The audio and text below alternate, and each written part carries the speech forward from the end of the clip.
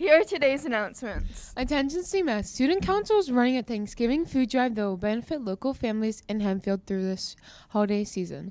Throughout the month of November, there are donation boxes set up in the school lobbies as well as outside Mrs. Axe's room. Please drop off food donations to one of these boxes by November 19th. The list of items to donate is found in your homeroom Schoology course and on the boxes and posters around the school. Please help all our Hempfield families have a happy Thanksgiving and donate to the food drive this month.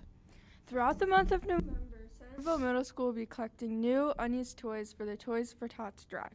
This special event helps families enjoy a special holiday by providing them with new unused toys.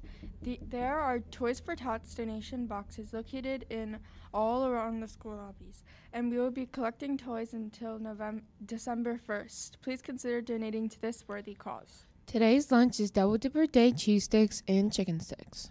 Today's weather is mostly sunny with a high 60 and low 41.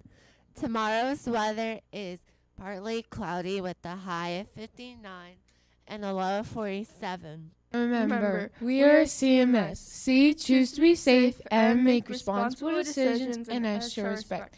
Have a Dance Moves Monday. That's such a bad thing. Oh my god.